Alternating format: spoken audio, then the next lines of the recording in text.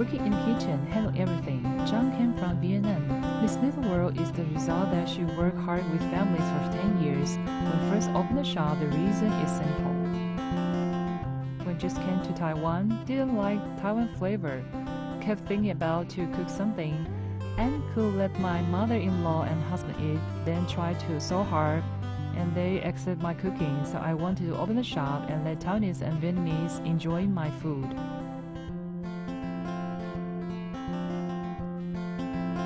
The families aren't used to the food, so she cooked by herself. Then they really love it, so she decided to open a restaurant.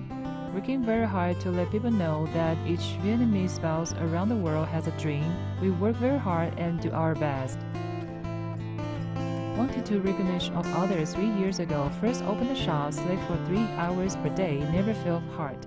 Clean the house in the morning, then prepare some stuff probably around 11. The shop opens at 11 whole day if only me i was busy doing my by myself until 9 working and taking care of the kids at the same time. The kids are well behaved.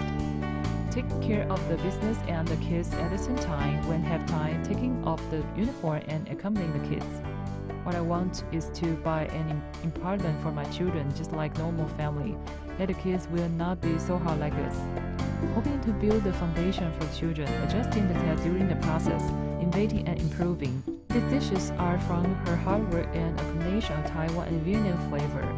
Taiwanese don't like too salty, so every day I simmer the bone soup long hours. I separate fish, sauce, and chili. Other mix them together saltier, but mine is lighter so the elderly and the kids can eat.